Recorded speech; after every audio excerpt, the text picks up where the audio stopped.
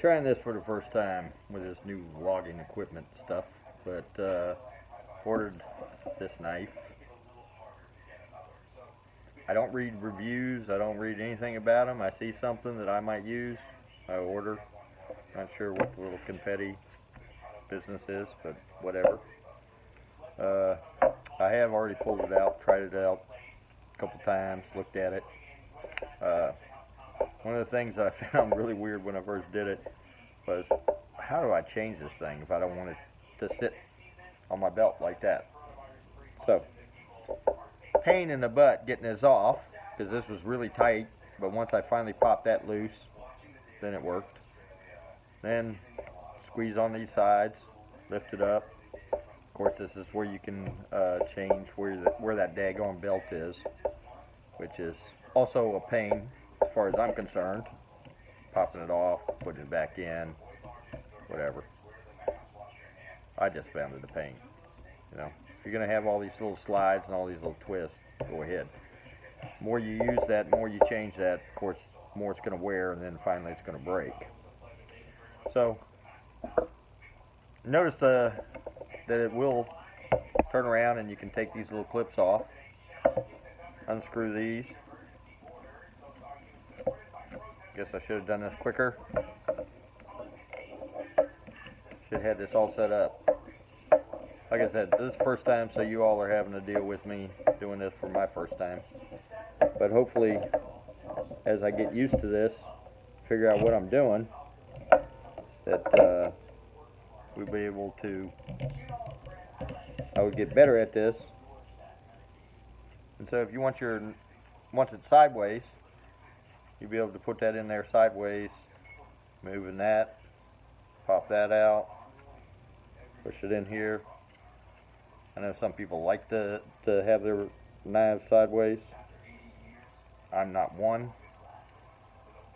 but they do pop in and then you close it up, fasten to your belt, so it's sitting that way, or that way, I guess, is what you want.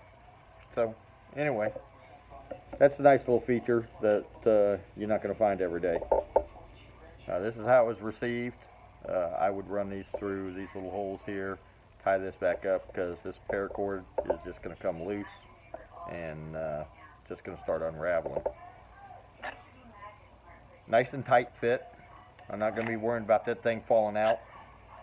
Not until after it gets a lot of use. It's, it's rated here. I have not tried it. It is oiled. I've not tried it on wood to see if it actually saw wood. I would be surprised. It does feel fairly sharp. I sharpen all my own knives. This looks like it's uh, 10, 20, probably 20 angle. It says it's 420 uh, steel. It's not marked. It's got a little cute little thing there. But as usual, I always grab a piece of paper.